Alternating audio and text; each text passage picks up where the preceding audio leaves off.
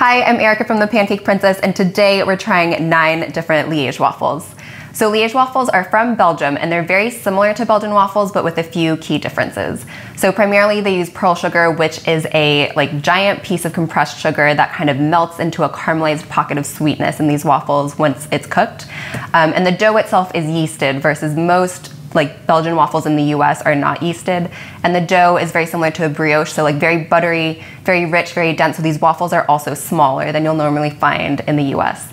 So we tried nine different recipes. I'm gonna taste my way through them all and let you know my thoughts on each. So let's take a look.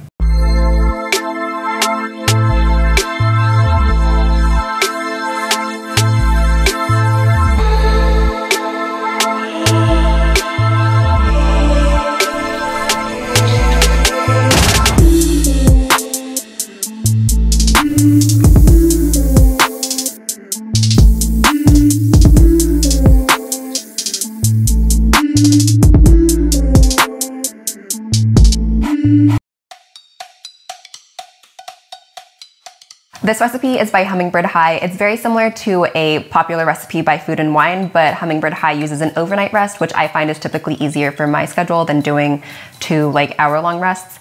Um, this also had one of the highest ratios of egg in the batter and calls for melted butter instead of softened butter, which was only one of three recipes to use that.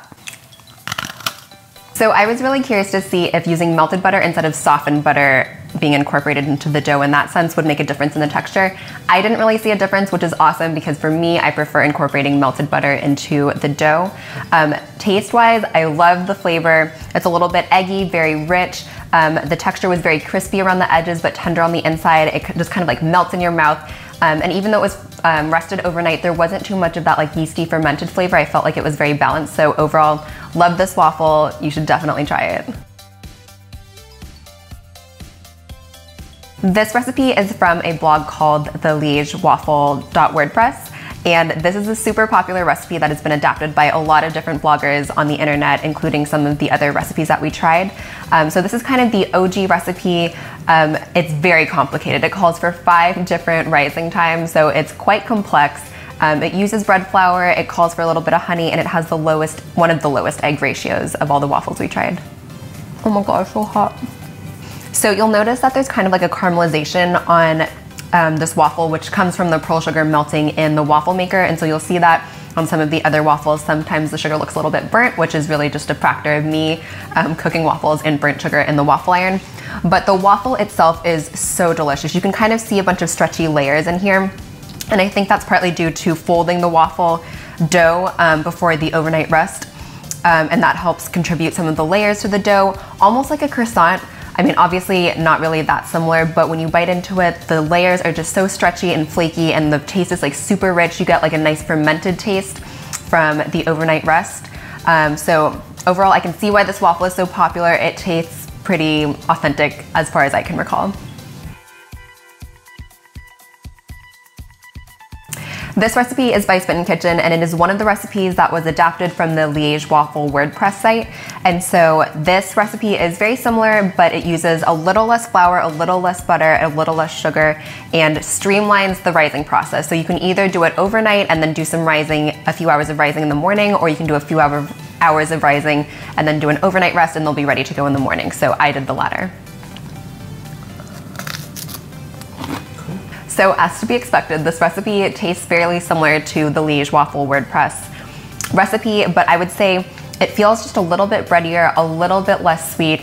Um, this is if I'm really pulling hairs. And there's not as much of the fermented taste, probably because it didn't rise quite as long on the countertop, um, which I am willing to sacrifice that if I don't have to babysit the dough through five different rising times. So I would say this is a great streamlined version of the Liège waffle WordPress. This recipe is by Handle the Heat, and once again, it is very similar to the Liège waffle WordPress recipe, but it uses bread flour, whereas Smitten Kitchen used all-purpose flour, and it does keep the honey, whereas Smitten Kitchen omitted it. So I was just curious to see if these tiny changes would make a difference. So to me, this waffle feels more chewy than the Smitten Kitchen waffle, which I think is due to the bread flour and Handle the Heat, whereas it doesn't feel, it feels a little bit chewier than the Liège waffle WordPress original. I think because that one is more kind of like layered and stretchy and this one just has like a good amount of chew to it. Um, Taste-wise, compared to the Liege Waffle WordPress waffle, it has less of that fermented flavor. I just tasted them again side by side, and the Liege Waffle WordPress one really has like a strong fermented yeasty flavor, and this one is much more mild. So if you prefer that, I would go with Handle the Heat. Once again, it has a much more streamlined rising process similar to Smitten Kitchen, so much easier to make. This recipe is by Kitchen Whisperer, and this is another recipe that uses honey in the dough, and it actually also incorporates white sugar and brown sugar, which no other recipe did. But it really stood out for its use of liquid, so it has both milk and water at a much higher ratio than most other recipes, and it also has a much lower ratio of butter, like almost half compared to the Liege waffle WordPress recipe, so kind of diluting the richness of the butter by adding more liquid from the milk and the water. So the flavor of this waffle is great. The dough is nice and sweet. The texture is really nice and crispy with like a doughy inside when it's fresh out of the um, waffle iron. I will say this is the recipe that went soft the fastest as all of the waffles were kind of cooling on the rack. So if you want a waffle that's gonna kind of stay structured and crisp and be good even when it's cold, I would probably choose another waffle. But if you're gonna eat this straight out of the waffle iron, I would say this is like on par with all the other waffles. Super delicious. You really can't go wrong with the Liège waffle. This recipe is by Anna Olson. This recipe stood out because it's the only recipe that uses sparkling water in the dough. It is also one of three recipes that uses melted butter instead of softened butter when incorporating the butter into the dough. Um, and it gives you an option to either rise the dough overnight or to do a one hour rise at room temperature. So this recipe is by far the most picturesque recipe. It just came out of the waffle maker consistently looking the most beautiful to me, um, very evenly cooked. But to me, this waffle could be a little bit sweeter. So it had one of the lower ratios of pearl sugar in the batter. Um, and to me, I don't usually keep sparkling water around the house, so I probably would not revisit this exact recipe over and over, but I would be curious to try making it with milk and with some added pearl sugar to add a little more sweetness to the waffle. This recipe is by Lars Own. It's a popular brand that makes Belgian pearl sugar. This recipe is super simple. It uses milk as the liquid and it only calls for 30 minutes of rising time, which is the lowest amount across of all of these recipes. So if you are looking to make Liège waffles um, in a hurry, this is the recipe for you. So in contrast to Kitchen Whisperer, this is a waffle that stays very structured and crisp even when it kind of cools down. So obviously you should eat them hot if you can but when this is cold, it's still good. Um, but this is a very like stretchy, layered, um, buttery, rich waffle. I really think that it's an incredible um, end product for such a short amount of rising time and it's just like a very simple recipe. So if you are just starting out with Liège waffles and you don't want to sit around or let your batter rest overnight, I can't recommend this waffle enough. This recipe is supposedly by the Wafels and Dinges food truck. I found it on a site called Roaming Hunger.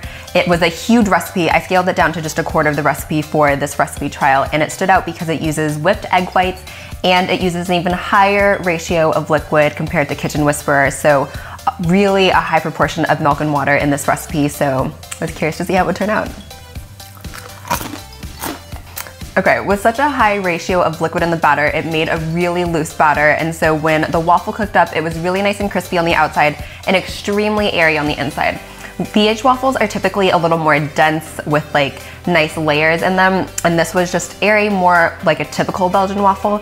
So um, they also didn't specify how much sugar to put in the waffle. So I put about a little less than a cup which um, was not enough sugar for me. I would put in more next time.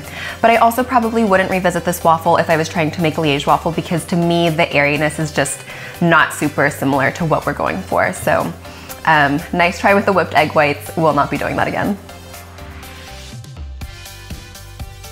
This recipe is from a blog called Foodess, and it is apparently from someone's friend who is from Belgium, so it's supposed to be super authentic. This recipe stood out because it uses an incredibly high amount of yeast, so I think five tablespoons for the full recipe. We halved it for this test, but it was still way more yeast compared to most other recipes. It also is one of the three recipes that uses melted butter in the dough. Enjoy my crunching. This was one of the denser waffles to me. It is very cakey with like a really um, if it was like a cake, it would have like a very tight crumb, but it's just like a much denser and not like the opposite of Wafels and Dinges and like not airy. Um, but great texture. I feel like a great amount of sweetness. Um, yeah, I don't know what else to say. I'm out of adjectives for the day.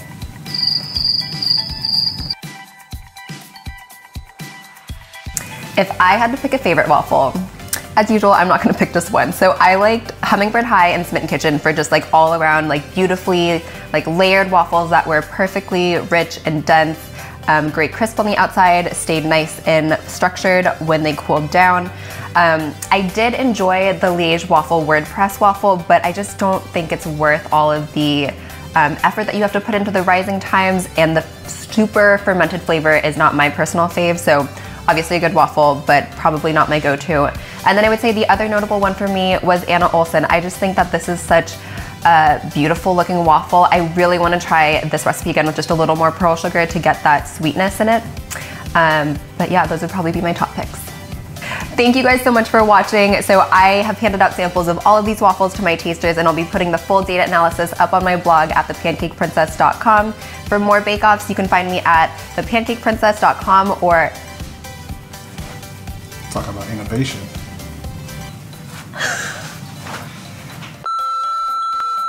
For more bake-offs, you can find me on Instagram at The Pancake Princess or my blog, thepancakeprincess.com, and see you next time. I'm not doing the finger guns.